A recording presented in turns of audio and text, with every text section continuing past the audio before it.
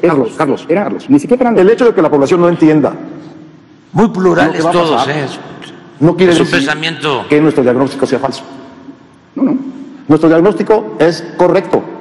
La población lo puede o no entender. Lo que va a pasar, no, no, lo que va a pasar es una autocracia legal, una dictadura. Digo autocracia legal para distinguirlo del PRI, porque el PRI no tenía la legalidad para actuar como una dictadura y tenía siempre una reserva de pudor y de cuidado de las formas. Por cierto, lo mismo que Porfirio Díaz. Estos no. Esto es. Y hasta Marco ya dice que soy este Bueno. Díaz Ordaz. Sí, pues, sí. Este, sí. eh, y Salinas, creo, ¿no? Díaz Ordaz, Salinas.